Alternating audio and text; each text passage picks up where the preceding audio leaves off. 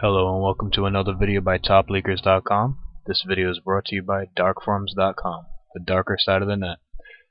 Today I'm going to show you another crypter cracked by TopLeakers.com. This particular crypter is Saddam's Crypter, version 2.2 I believe. Um, again, just another basic crypter.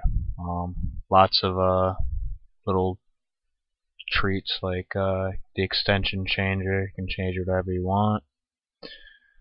Um, I believe this is only available for Windows 7 users. The extend, extension changer, change the, uh, the uh, assembly changer, basically all the little features that you look for in a crypter. You can get this on topleakers.com. Make sure you check every day for all the latest updates and releases. Uh, we try and crack as many cryptors as possible. If there's a particular crypter or tool that you would like us to crack, please send us an email to topleakers at gmail.com. Again, that's topleakers at gmail.com, and we'll do our best to post up the uh, the cracked software that you requested. We'll even email you uh, telling you that we uh, we did so. So again, uh, this has been another video by topleakers.com. Make sure you visit the site every day. Have a good day.